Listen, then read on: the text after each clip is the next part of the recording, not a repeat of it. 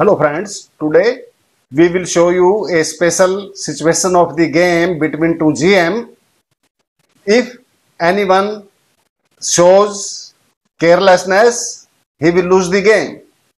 See the position on the board.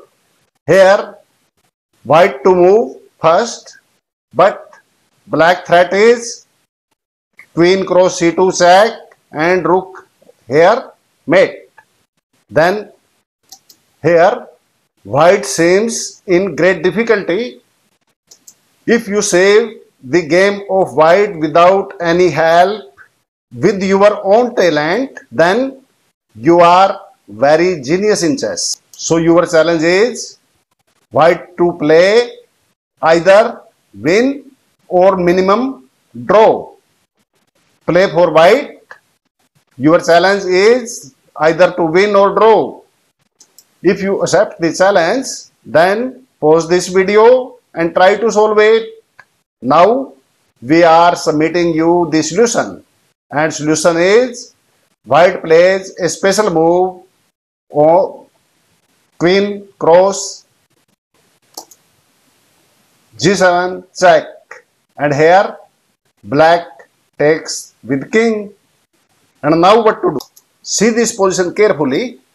Here white has only one chance to save and if he tries the bishop on this f6 or bishop on even c1 he will lose the game.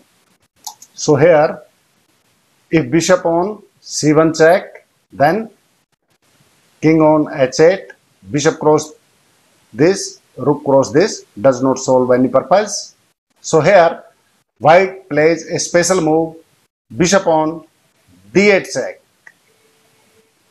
and here black has only option to go on h8 why not on this square because of bishop on h5 mate. So only option is king on h8 here white uses a special sacrifice rook g8 check and here only option rook g8 and now he uses his bishop f6 sack only option bishop cross rook king back and here bishop cross knight.